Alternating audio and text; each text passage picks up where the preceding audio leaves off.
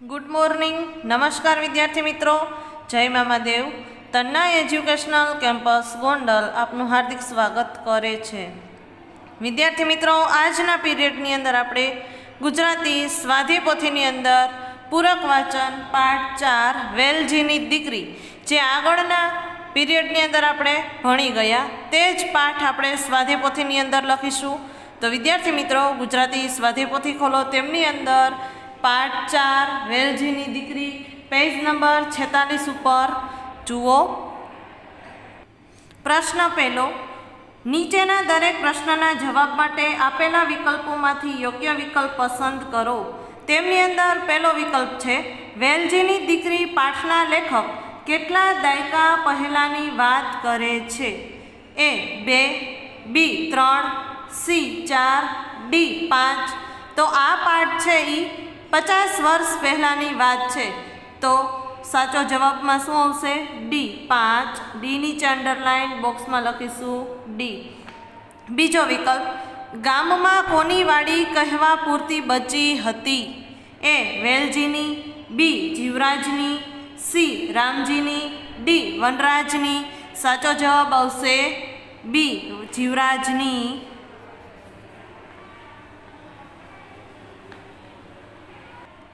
ત્રીજો વિકલ્પ, જીવરાજને કેટલા સંતાન હતા? એ એક, બી, બે, સી, ત્રણ, ડી, એક પણ નહીં. તો જીવરાજને એક પણ સંતાન નહોતા. એટલે સાચો જવાબ આવશે ડી.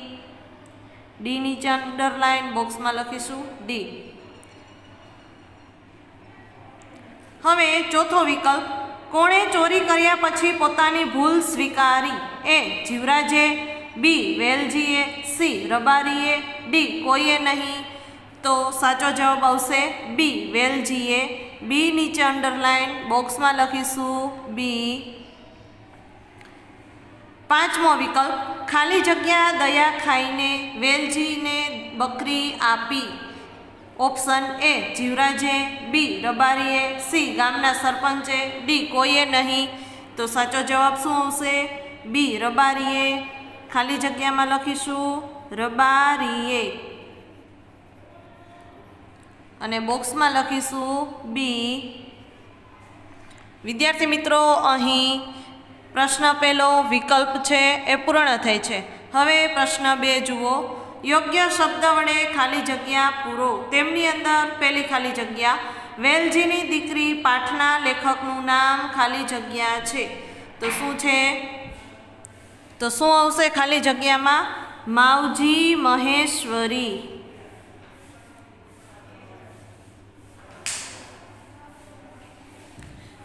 બીજી ખાલી જગ્યા. કેટલાક લોકોએ ઢોર ઢાખરને ખાલી જગ્યાના હવાલે કર્યા. તો એમાં આવશે પાંજરા ત્રીજી ખાલી જગ્યા, જીવરાજ પોતાના ખાલી જગ્યાને પોતાના સંતાનની જેમ સાચવતો. તો આવશે ઢોર ઢાખર.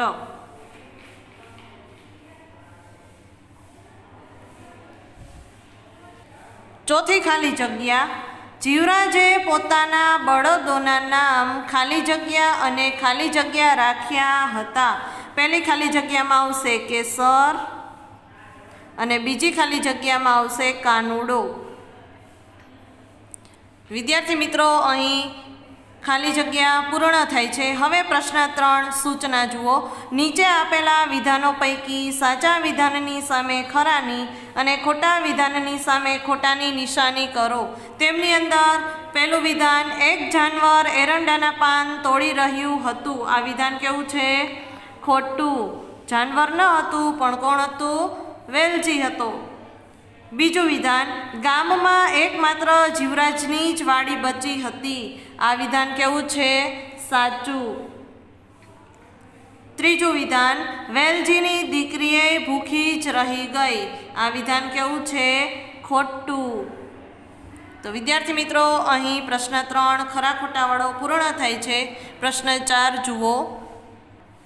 પ્રશ્ન ચાર, નીચે આપેલા વાક્યો કોણ બોલે છે તે જણાવો. તેમની અંદર પહેલું વાક્ય, તમે જાણો અને તમારા બળદ જાણે. આ વાક્ય કોણ બોલે છે? જીવરાજની પત્ની. ખાલી જગ્યામાં આપણે સામે લખીશું, જીવરાજની પત્ની. બીજું વાક્ય, તે શેની ચોરી કરી છે? આ વાક્ય કોણ બોલે છે? જીવરાજ. ત્રીજું વાક્ય, હું જીવતો છું ત્યાં લગી એમને આંગણેથી નહીં કાઢું. આ વાક્ય કોણ બોલે છે? જીવરાજ. ચોથું વાક્ય, જીવરાજ બાપા, મને માફ કરો, મેં તમારી ચોરી કરી છે. આ વાક્ય કોણ બોલે છે? વેલજી. પાંચમું વાક્ય, મારાથી વાડીએ ભાતું દેવા નહીં અવાય. આ વાક્ય કોણ બોલે છે? જીવરાજની પત્ની.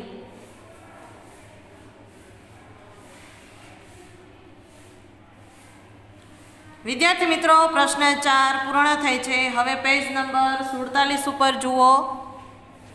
ચલો, તેમની અંદર પ્રશ્ન પાંચ, સૂચના. નીચેના પ્રશ્નોના જવાબ આપો. તમને પહેલો પ્રશ્ન જવાબ સહિત આપેલો છે. જુઓ, વાંચો. જીવરાજ પોતાના બળદોની કાળજી કેવી રીતે રાખતો? તો જવાબ પણ આપેલો છે, એ વાંચો. જીવરાજ પોતાના બળદોને નવડાવતો, ખવડાવતો જાત જાતના શણગાર કરતો અને એમની સાથે વાતો પણ કરતો. હવે બીજો પ્રશ્ન જુઓ. જીવરાજની વાડીમાં એરંડાના પાન તોડવા કોણ આવ્યું હતું? એમનો જવાબ લખીએ આપણે. જીવરાજની વાડીમાં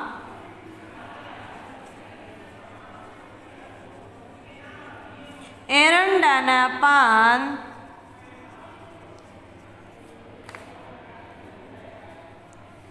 તોડવા વેલજી આવ્યો હતો.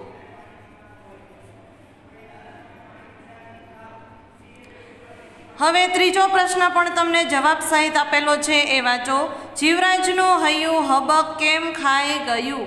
જવાબ જુઓ. વેલજીએ જીવરાજને કહ્યું કે, બાપા દસ દિવસ પહેલાં મારે ત્યાં દીકરી જન્મી છે, એની માને જરાય ધાવણ આવતું નથી. એક રબારીએ દયા ખાઈને બકરી આપી, પણ બકરીને ખવડાવવા પણ મારી પાસે કશું નથી. આ વાત સાંભળી જીવરાજનું હૈયું હબક ખાઈ ગયું. હવે પ્રશ્ન છ, જુઓ. તમને વિકલ્પ આપેલા છે, બે ઓપ્શન આપેલા છે, જે સાચો ઓપ્શન હોય જવાબ હોય એની નીચે રાઈટની નિશાની. જીવરાજે વાવેલા પીપળાના અને એરંડાના. આ બે શબ્દ આપેલા છે. જે સાચો શબ્દ હોય એની નીચે ખરાની નિશાની. પાન બળદોને નિર્વાહ થતા હતા. જીવરાજે પોતાની વાડીમાં પોતાના બળદ માટે શું વાવેલું હતું? તો કે એરંડાના. એરંડા વાવેલા હતા. એટલે એરંડા નીચે રાઈટની નિશાની. પછીનો પ્રશ્ન પ્રશ્ન સાત. નીચે આપેલા શબ્દોના સમાનાર્થી શબ્દ લખો. તેમની અંદર પહેલો શબ્દ છે ધરા. તો જમીન. બીજો શબ્દ છે આગંતુક. તો આવનાર. ત્રીજો શબ્દ છે ભાતું. તો જમવાનું. ચોથો શબ્દ છે ઓછાયો. તો પડછાયો. પાંચમો શબ્દ છે કરમ તો નસીબ. છઠ્ઠો શબ્દ છે કસોટી તો પરીક્ષા. વિદ્યાર્થી મિત્રો, અહીં પ્રશ્ન સાત સમાનાર્થી શબ્દ પૂર્ણ થઈ છે. હવે પ્રશ્ન આઠ જુઓ. નીચે આપેલા શબ્દ સમૂહ માટે એક શબ્દ આપો. તેમની અંદર પહેલો શબ્દ છે મોટી ઉંમરનું તો પાકટ. બીજો શબ્દ, જ્યાં માટી ખોદાતી હોય તેવી જગ્યા ખાણેતૃ ત્રીજો શબ્દ, પાણીની નીક ધોર્યો. ચોથો શબ્દ, સમૂહ, દસ વર્ષનો ગાળો, તો દસકો અથવા દાયકો પણ કહેવાય. પાંચમો શબ્દ, સમૂહ, ધ્યાન રાખનાર, રખેવાળ. વિદ્યાર્થી મિત્રો, અહીં શબ્દ સમૂહ પૂરા થાય છે. હવે પ્રશ્ન નવ, જુઓ. સૂચના, નીચે આપેલા રૂઢિપ્રયોગોનો અર્થ આપી વાક્યમાં પ્રયોગ કરો. તેમની અંદર પહેલો રૂઢિપ્રયોગ, એકના બે ન થવું. એમનો અર્થ લખો સૌથી પહેલાં, મક્કમ રહેવું. વાક્ય નીચેની લીટીમાં, મેં ઘણી કોશિશ કરી. પણ સીમા એકની બે ન થઈ. વાક્ય પૂરું થાય એટલે પૂર્ણ વિરામની નિશાની. બીજો રૂઢિપ્રયોગ જીવની જેમ જાળવવું. અર્થ લખો, સારી માવજત કરવી. વાક્ય લખીશું જીવરાજ પોતાના બળદોને જીવની જેમ સાચવતો હતો. ત્રીજો રૂઢિપ્રયોગ ગદગદ થઈ જવું. અર્થ લખો, લાગણીથી ભરાઈ જવું.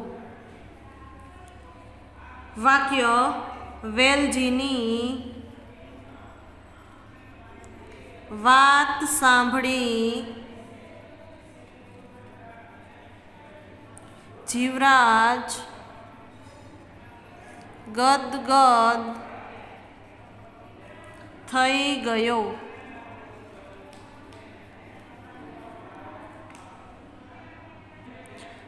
ચોથો રૂઢિપ્રયોગ, લોહી પાણી એક કરવા ભારે મહેનત કરવી. વાક્ય લખીશું, પરીક્ષામાં પહેલો નંબર લાવવા મેં લોહી, પાણી, એક કર્યા. પાંચમો રૂઢિપ્રયોગ, લોહી બળવું તો દુઃખ થવું. વાક્ય વેલજીની પરિસ્થિતિ જોઈ જીવરાજનું લોહી બળી ગયું. વિદ્યાર્થી મિત્રો, અહીં પ્રશ્ન નવ રૂઢિપ્રયોગ પૂર્ણ થાય છે. હવે પેજ નંબર અડતાલીસ ઉપર જુઓ. પ્રશ્ન દસ, નીચે આપેલ શબ્દોની જોડણી સુધારો. તેમની અંદર તમને છ જોડણી આપેલી છે. એ જોડણીની રીતે ખોટી છે. આપણે સાચી જોડણીમાં શબ્દ લખવાના રહેશે.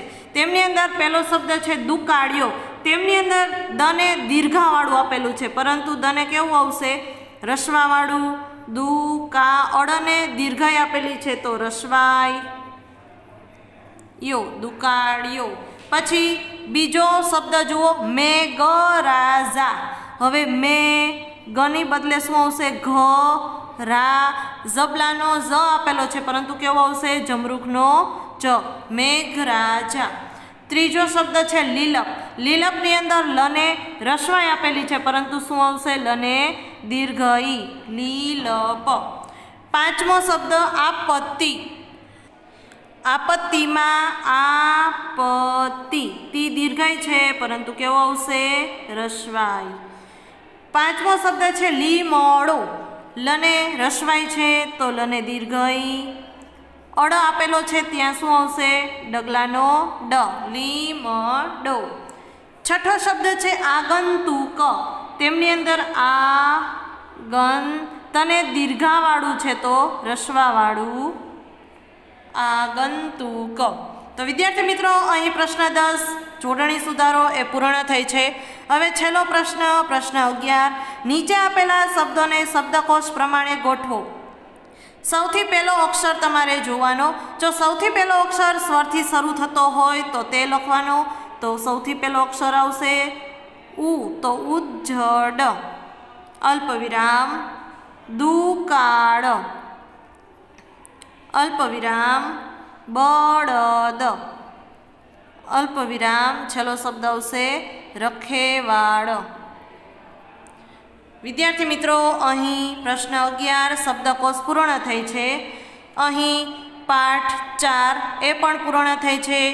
ગુજરાતી સ્વાધ્યાય પોથી અહીં પૂર્ણ થઈ છે. તમારે આગળ જે કાંઈ બાકી હોય એ સ્વાધ્યાય પોથીની અંદર પૂરું કરી લેવાનું રહેશે. ન સમજાય તો અમને પૂછી લેવાનું, પણ સ્વાધ્યાય પોથી છે એ પૂર્ણ હોવી જોઈએ. Thank you